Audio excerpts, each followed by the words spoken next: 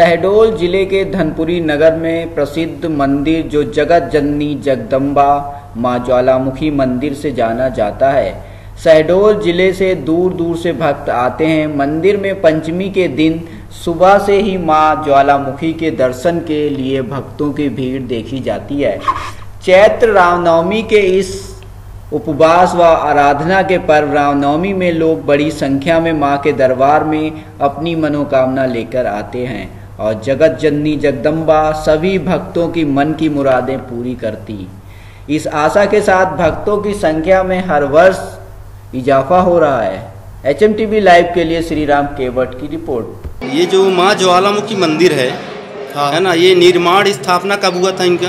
निर्माण स्थापना जो जो है ये एक तालाब है हमारे यहाँ जिसका नाम है मूर्तिहाई तालाब। जी। उस तालाब से दो मूर्ति निकली जी। एक माँ ज्वालामुखी जी एक फूलमती मैया का तो हमारे जो पूर्वज थे तो इस मूर्ति को यहाँ रख लिए और फूलमती मैया को जो है दूसरे मोहल्ले में दे दिए। धीरे धीरे धीरे धीरे हमारे जो दादा थे भरोसा सिंह वो इस मूर्ति को यहीं रखे। उसके बाद फिर हमारे पिताजी तो धीरे धीरे विकास हो, तो होता गया। जब हम लोग जब तैयार हुए हमारे परिवार के तो इसका क्या हुआ कि निर्माण हम लोग किए सन चौरासी में। सन चौरासी में इस, इसका निर्माण किए। फिर धीरे धीरे धीरे हम लोगों ने चंदा इकट्ठा किया मंदिर का निर्माण किया।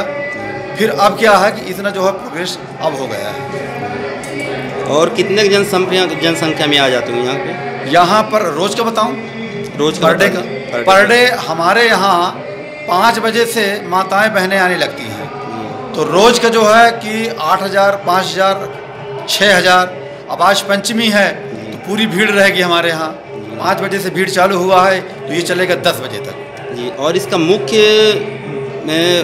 जुलूस कब निकाला जाता है इनका? ये चौदह तारीख को इसी चैत के महीने में जी। तो ये नौमी के दिन हम लोग ये जुलूस निकालते हैं। उसमें क्या क्या व्यवस्था रहता है आपका? इसकी व्यवस्था रहती है जो ये जवारा में हमारी माताएँ बहनें जवारा लेके चलती हैं तो सारी व्यवस्था पूरे जितने नगर के लोग हैं ये सारी व्यवस्था रखते हैं।